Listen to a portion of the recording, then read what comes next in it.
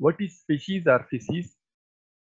Facies literally refer to outward appearance or sight or form.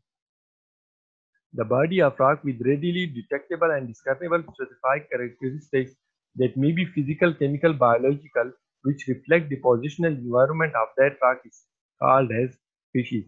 Any body of rock with easily discernible and detectable specific characteristics such that those characteristics help us in reflecting the depositional environment of that rock, then such rock is termed as facies.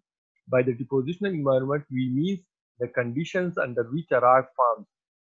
Any rock having such specific characteristics such that those characteristics are helpful in reflecting in deducing or in telling us the conditions under which a rock forms, then such body of rock is termed as facies. Facies can be sedimentary, it can be metamorphic, it can be environmental, it can be seismic facies. We are concerned here with the sedimentary facies, a body of sediment or sedimentary rock with distinct sedimentological properties that is lithological, textural and compositional properties and paleontological which predict environment of deposition is called a sedimentary facies.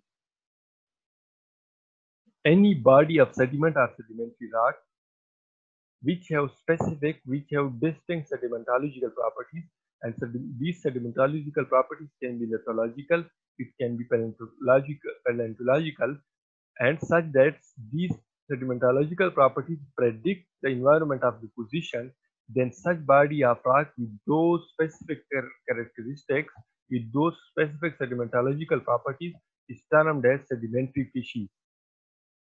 Remember every depositional environment puts its own distinctive imprints making it particular facies.